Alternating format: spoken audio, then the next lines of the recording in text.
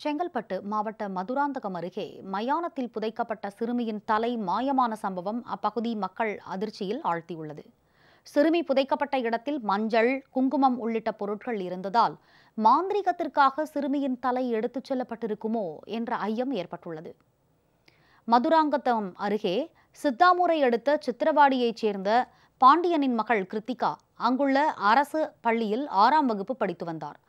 அண்மையில் அந்த பகுதியில் உள்ள மின்கம்பத்தில் தெருவிளக்கை மாற்றுவதற்காக மின் ஊழியர் ஏறியபோது பழுதாகி கிடந்த மின்கம்பம் முறிந்து விழுந்தது.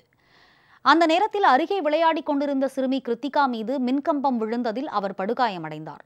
முதலில் செங்கல்பட்டு அரசு மருத்துவக் கல்லூரியில் சேர்க்கப்பட்ட சிறுமி பின்னர் சென்னை அரசு பொது மருத்துவமனையில் சேர்க்கப்பட்டார். ஆனால் சிகிச்சை பலனின்றி சிறுமி பரிதாபமாக உயிரிழந்தார். பிரேத பரிசோதனைக்கு பிறகு சிறுமியின் உடல் கடந்த பதினைந்தாம் தேதி சித்திரவாடி மயானத்தில் புதைக்கப்பட்டது. இந்நிலையில் மயானம் வழியாக சென்ற கிராமத்தினர் சிறுமியின் உடல் புதைக்கப்பட்ட இடத்தில் எலுமிச்சை பழம் மஞ்சள் தூள் குங்குமம் போன்ற பூஜை பொருட்கள் மற்றும் தலைமுடிகள் இருப்பதைக் கண்டு அதிர்ச்சியுற்றனர். இதுகுறித்து சிறுமியின் பெற்றோருக்கு தகவல் அளித்தனர்.